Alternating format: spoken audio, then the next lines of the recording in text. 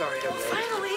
No, I, I'm, I, I, I was just, I mean, there was a lot of traffic. lesson, and you are 45 minutes late. I mean, look at everybody else. They are all better than us. All right, then let's go.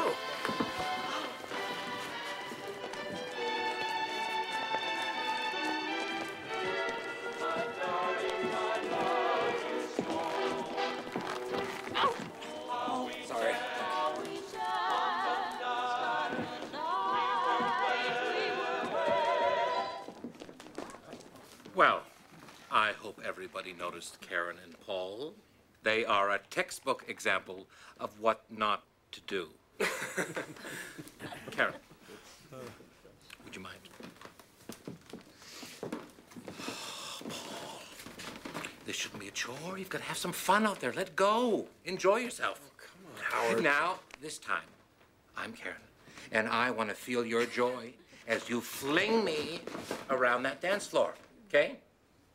Okay. Good. Now, I am your lady, and you be my man. Karen, music, please. Mm. Oh, prepare. One, two, three. One, two, three. Good. Good. Very good. That's it. Watch the pretty lady as she dances around.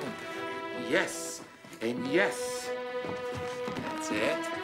We're flying, Paul. Can you feel it? Everybody. That's it. Good.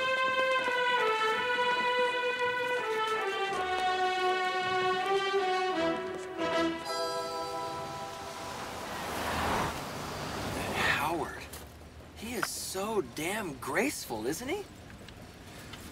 Well, he's a dance instructor, Paul. It's his job. No, I, I just mean a guy with his frame. You don't see it coming, and then ah, something magical happens out on that dance floor. You know? Paul, seatbelt. People surprise you. Is all I'm saying. Mm. Hey, did you book?